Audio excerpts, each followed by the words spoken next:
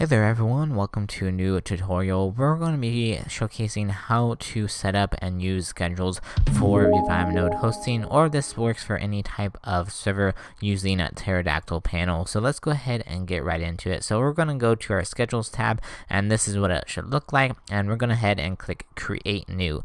And so in here, I'm going to be showcasing a broadcast setup, and this is going to be the schedules, but schedules are really helpful if you want to use like a daily restart system or some sort of giveaway giveaway uh, reward system for a certain day of the week, uh, then you can set up a schedule in here, which would be pretty cool. So we're going ahead and call this broadcast because that's what I'm going to be using. And in here, you can select the day of the week. If you want to use all of them, you can just use the asterisk symbol, and that will go ahead and do all of them. And the same for the day of the month as well. So go ahead and just put that in there. Next is going to be the hour of the day. If you are using Revive Node, all the servers are going to be located in GMT time zone. So if if you want to figure that out, I just recommend you Google your time zone and then it will tell you how far away or behind or ahead you are uh, between that. So if you are in the Eastern Standard Time, uh, it is currently 2:17, and then that is translated over to 7:17 p.m. And so if you are using like something on the West Coast, you could do PST in like California,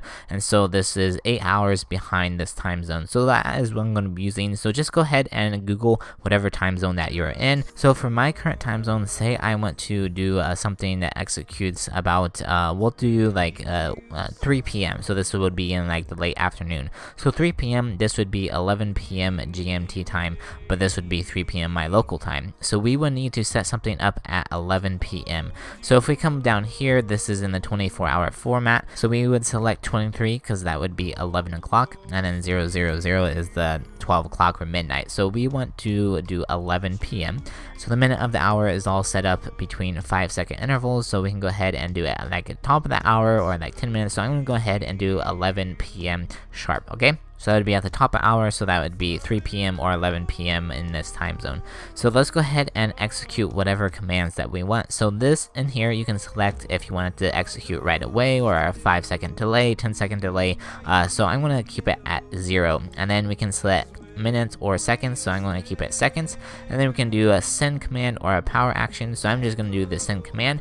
And keep in mind when you're doing the command, you need to remove the slash because this will be in console. So I'm going to go ahead and do a broadcast, and we'll just say this is the first command, alright? So we can go ahead and do that. If you want to add another task, go ahead and just hit add task, and then we can execute, we can have like a few delays, so we can do like two, and then we can do like the same command, uh, and we're to go ahead and broadcast, and we'll just say this is the second, and so on and so forth. So keep in mind, as you see, they are relative to the previous defined task, so they basically go, go in consecutive order. So once this is up, then it waits two seconds, and then once this is up, you could do another one, so for this one, I'm gonna do like ECO give at everyone, and then we can give everyone like a hundred dollars. All right. So that would execute exactly right after this command. So let's go ahead and create the schedule. And so now we can go back to the schedules tab. So you can click up here or over here. So now let's go ahead and test it out. And if we go ahead and click trigger schedule, this will go ahead and trigger it. And this is how you find out what time zone your servers are in. So let's go ahead and click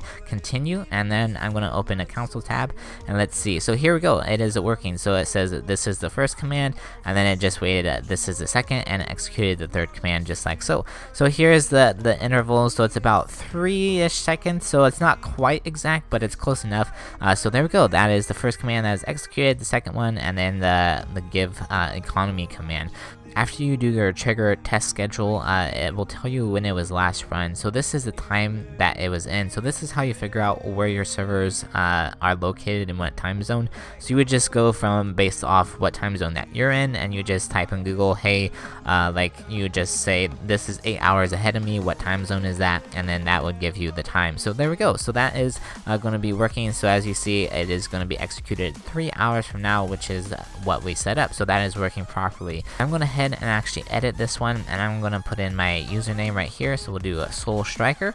Uh, so we'll go ahead and update the schedule and then I'm gonna be in game real quick so let me switch over to my screen. So I'm going ahead and run this uh, trigger schedule again so we'll go ahead and execute it and we should get as you see there's the first command and then we wait a few seconds and there's the second and there we go. We just added a hundred dollars to our account. So there we go. That is how you set up schedules with pterodactyl and with revive node. If you guys have any questions be sure to come join the discord Discord or leave them down in the comments down below.